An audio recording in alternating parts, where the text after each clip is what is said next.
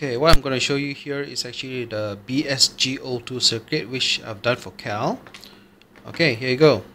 Now this is a very big circuit because it's made of breadboard or strip board as you call it because underneath here, see, it's full of strips.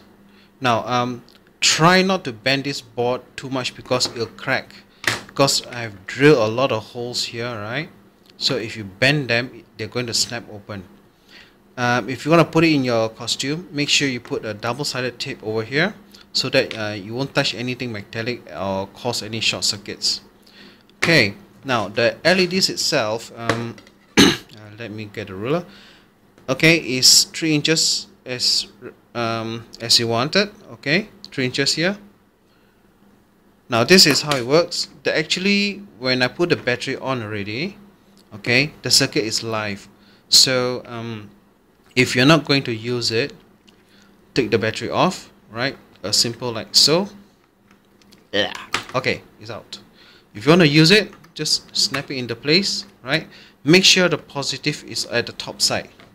Okay this is how the circuit works. The first push you generate the LEDs the red one.